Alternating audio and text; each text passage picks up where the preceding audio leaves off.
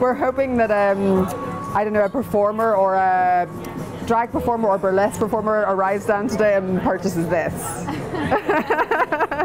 We've got this, and it also has like pieces that um, attach to the front and back like this. So yeah, I just love the detail and the color and just think it looks amazing. Basically, we're selling a, mixture of things um, from uh, clothes that hark back to the 20s, to the 50s, uh, 80s, 90s, and present day. So yeah, some vintage and some new-ish. Yeah. vintage style dresses. Yes. I took this skirt up. Um, it's just like amazing, I think, and the just the silhouette that it gives. It's great. So hopefully we sell that today also, and it's from Huey Walter, like proper vintage as well. That's vintage Laura Ashley. This is a 50s style dress, and it is. Um, I put it at 40 because it's proper vintage and it's really like a. I've not seen anything else like this, like a one-off.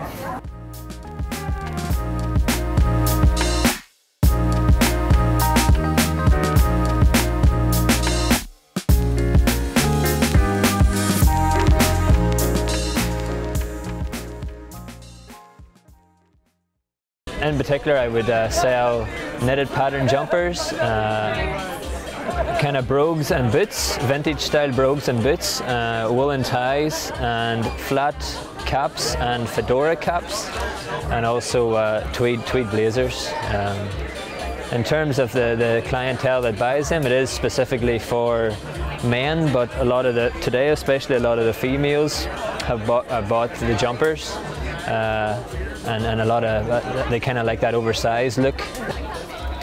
So this is an ex example of the, the items I would sell. Uh, this is a Donegal tweed uh, blazer uh, from the approximately the 1970s, um, and it, it's it's it, they say fashion comes around, uh, and, and I, am a firm believer in that too. And uh, I think because it's a flea market, you have to you have to depend you have to think of your market and. and flea markets are, are, usually renowned for being uh, reasonably priced. So uh, I try and uh, pr price it at, at, the kind of market that comes in. So I've, so I've priced this today at £12. So yeah.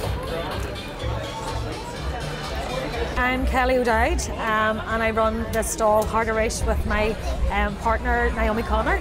Thart Arís means around again and it's about ha handmade and pre-loved um, vintage garments, but also we make jam and some rings um, aromatherapy sprays as well. So the type of clients and um, people coming along feeling a wee bit jaded, we let them spray the room spray.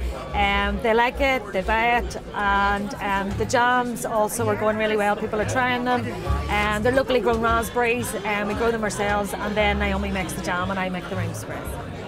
Naomi and I go to Glastonbury together um, with a load of other friends. So we kind of sell on our pre-loved Glastonbury clothes so we can buy more clothes for Glastonbury the following year. We've got some disco leggings that have actually been to Glastonbury um, and we're selling those for a fiver. And um, yeah. And this is Naomi's very pretty top. So you can see our stuff's very good quality and not at all expensive. How much is this one, Naomi? That one is six. That one is six pounds.